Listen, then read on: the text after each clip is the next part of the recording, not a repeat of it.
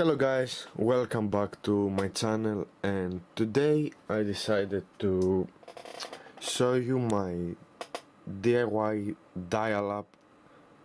Let's call it ISP so I got this computer running Windows Server 2012 with two modems which are connected to this VoIP adapter I showed you in my previous video. Now I don't have any VoIP account. It just this has the number 1 this has the number 2 and they are connected on this patch panel.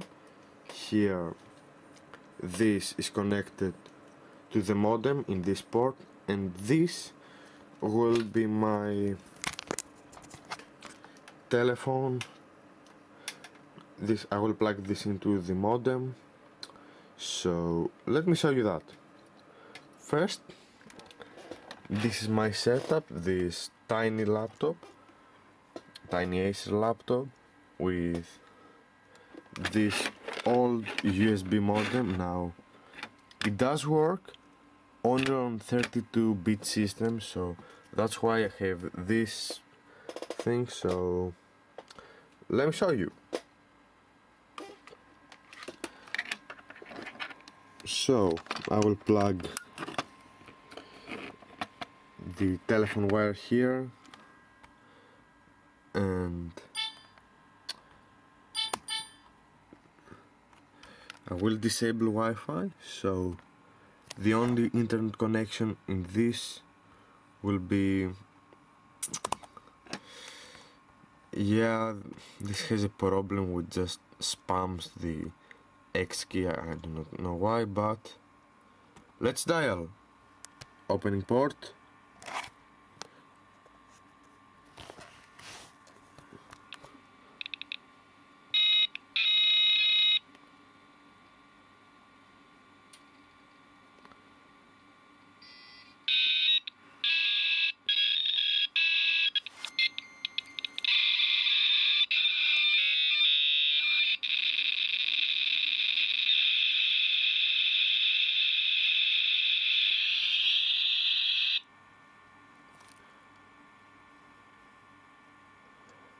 and we are connected.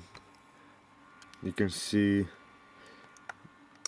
the traffic going through and it will be 30 uh, point something kilobits. Yes 33.6 that's expected.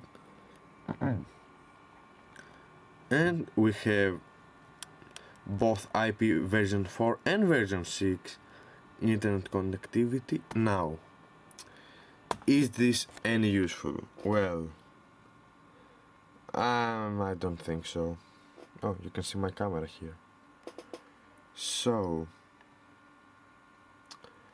let's try Internet Explorer because Chrome overwhelms this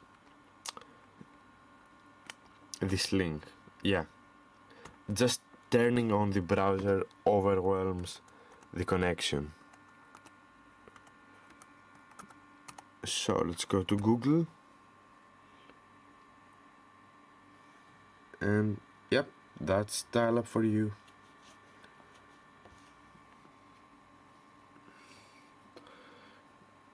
If you don't have any other way to access the internet let's say you're in a remote cabin well, you could set this one up and let's try YouTube. Can I search YouTube here? Oh.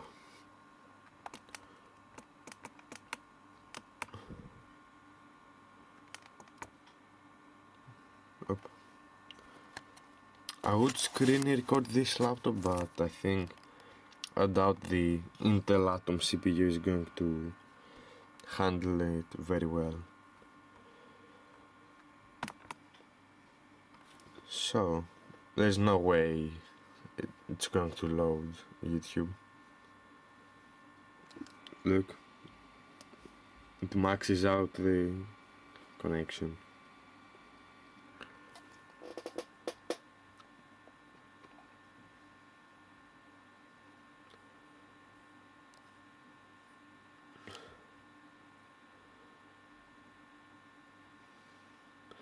Anyway, I think that's enough. You could use this for email and such, but I think uh, you've seen it work. So let me disconnect and show you the let's go the server side of things. So disconnect and let's go to my computer. So we're back on the server side of things. Let's let me show you something. Where is it? Now I want to go to yes, routing and remote access. This is where you set the modem and you could use this for VPN and such. So you got all of this for VPN connections and oh what is this? This is our modem. So let me connect so you can see the status changing.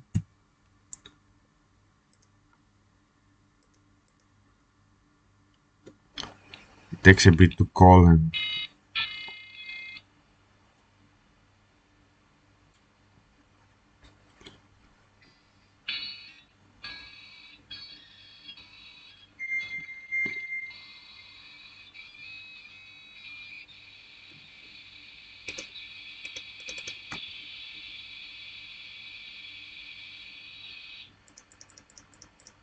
authenticating and boom it authenticated it got an IP an IP version 6 IP and everything is okay. If we see here we see basically the same information the the user dial and such. And if we go onto task manager. Yeah that's that's a nice